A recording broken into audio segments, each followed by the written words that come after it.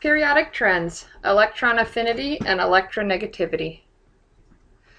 Okay, so let's just remind ourselves again of the effective nuclear charge and the fact that it increases across a period. And we've spent quite a bit of time discussing this.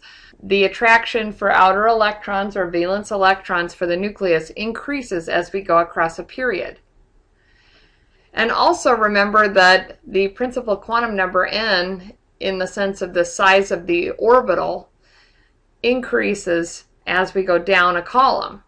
And so all of this leads to valence electrons feeling increasing nuclear charge as we go across a row or a period and decreasing nuclear charge as we go down a column or a group.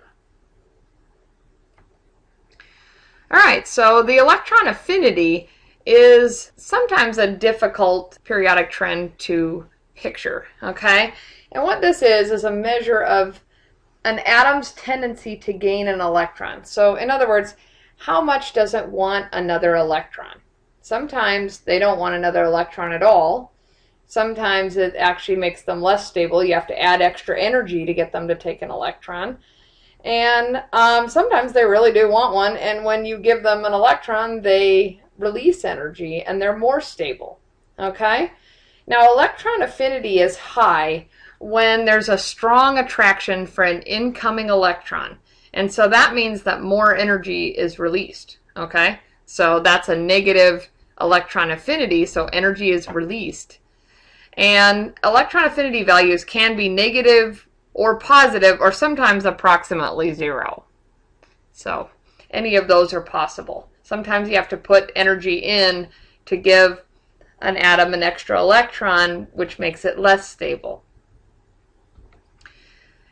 So chlorine has the most negative value for electron affinity. And so what that means is that it releases more energy when an extra electron is gained by a chlorine atom to form a chloride, a chloride anion. Okay?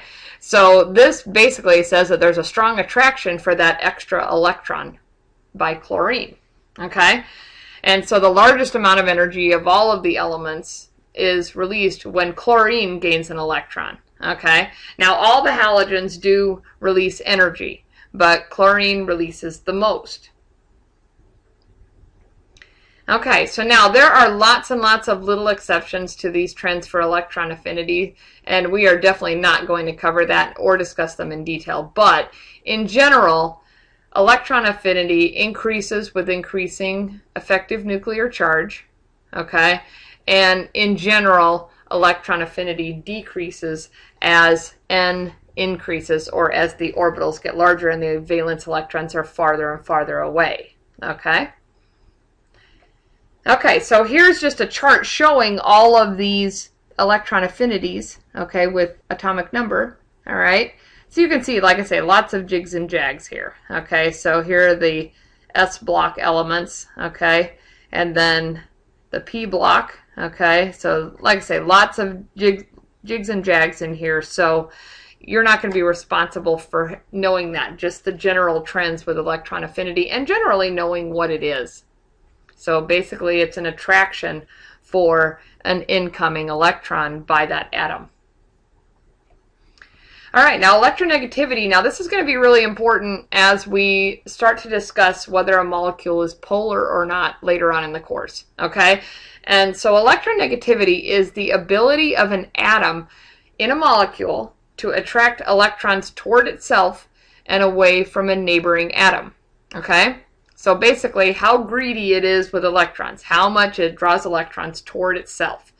And so smaller atoms with high uh, Z effective values, those have the highest electronegativity values. So fluorine has the highest electronegativity. Okay? So fluorine is very, very greedy, does not want to share electrons, wants to draw them away from other atoms in the molecule. All right, and in general, electronegativity increases across a period with increasing effective nuclear charge and it decreases down a group as the orbitals get bigger. Okay, so that follows the same trend as electron affinity. So electro electronegativity increases across a period. Okay, so again, here's a little chart showing the variation in electronegativity. These are Pauling electronegativities, okay? And so we can see that basically the trend is increasing as you go across a period.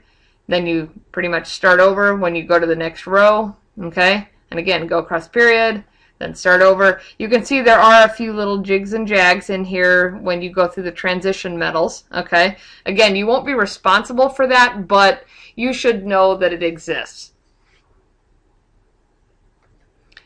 So in general, that increasing effective nuclear charge across a period leads to increasing electron affinity, so more attraction for an incoming electron, and increasing electronegativity. So basically the greediness pulling electrons away from neighboring atoms toward itself. So as you have a higher and higher effective nuclear charge, then you're going to have increasing attraction for incoming electrons and increasing greediness or electronegativity for electrons from neighboring atoms.